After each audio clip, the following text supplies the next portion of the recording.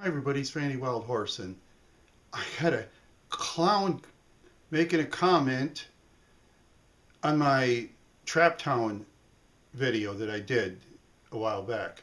I'll show you.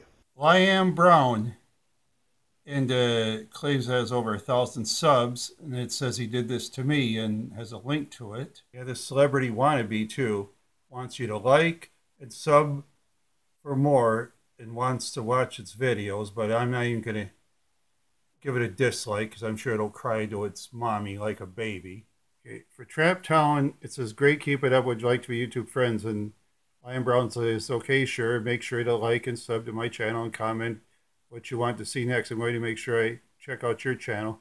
Sorry I'm late. My channel comments marked you as spam for some reason. Also, check my other vids.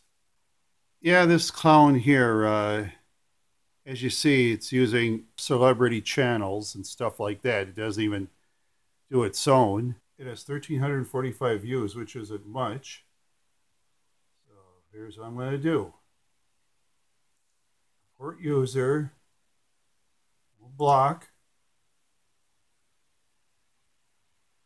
Yep. And I'm going to submit the block. I'm going to select. And I'm going to throw this Liam Brown in the trash can. Goodbye. And no, my Wild Horse fans won't subscribe to your channel, and I certainly won't.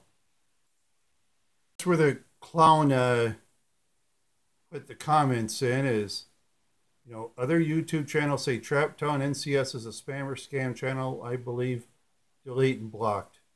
Yeah, I had to remove that comment. I blocked that clown too. And I'm glad I did. Wasn't a pathetic channel? Maybe it's friends with Trap Town, or maybe it isn't. I don't know. But if it thinks uh, Trap Towns is its friend, you know, that's that's fine. I guess it was hoping I'd subscribe to its channel, but you know what? I wouldn't subscribe to that joker. I really wouldn't.